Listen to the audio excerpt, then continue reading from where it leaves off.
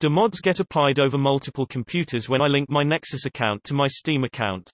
I am one of three people using a Steam account and I am not the original owner of that account.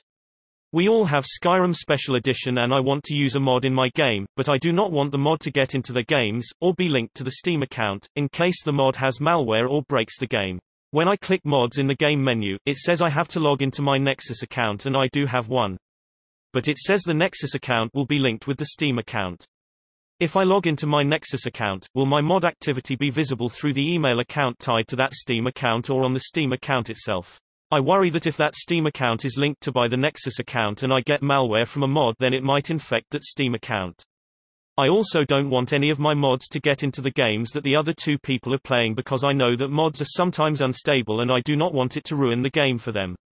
I just want to keep the mods I use on my computer only and use them in my game only and not have the mods affect the Steam account at all because of the risk of getting malware but I'm not sure that's possible because I'm using that Steam account to play the game in the first place.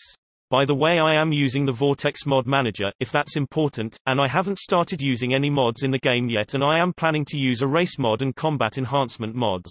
Please give me very detailed answers to all my questions because I am confused about what to do about those things. I'm not sure if you're referring to family library sharing, or if all three of you are actually using the same account. In case of the second, this is actually not allowed as per the Steam Subscriber Agreement. You may not reveal, share or otherwise allow others to use your password or account except as otherwise specifically authorized by Valve. If you are using family library sharing, and all three of you are on different computer systems, there is no problem at all, and you can mod to your heart's desire. As the mods you install, or tweaks you make to the settings and .ini files, are completely local, and won't change anything for the other players.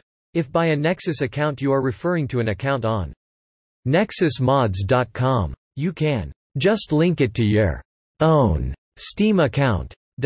It's just for registration, and to be able to download mods. It is not tied to the games in your Steam library. Log into your personal Steam account if necessary, create one, log into Nexus, and connect those two.